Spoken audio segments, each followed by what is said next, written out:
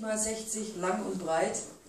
Diese Kiste ist mir so sehr aufgefallen, dass ich auch heute noch an sie denke, wenn auch mit diesem gewissen vagen Gefühl.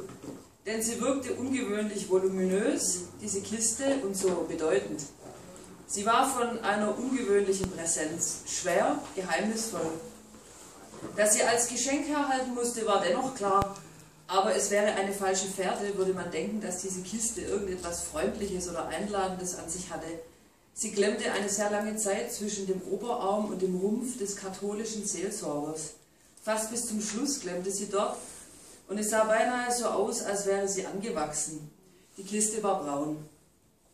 Auf dem Kirchplatz stehen heute Bierbänke, Tische mit Tischdecken und Sitzkissen auf den Bänken, Schirme zum Schutz und es ist eine kleine Bühne aufgebaut. Es duftet nach Bratwurst, Pommes, Wurstsalat mit Zwiebeln.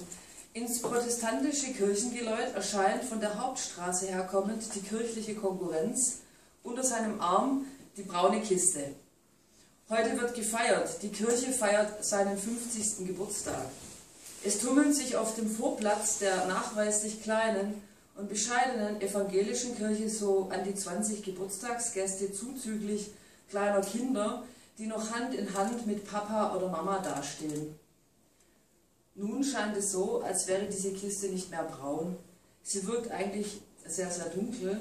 Ich vermute, dass sie in Wahrheit schlicht und banal schwarz angemalt ist.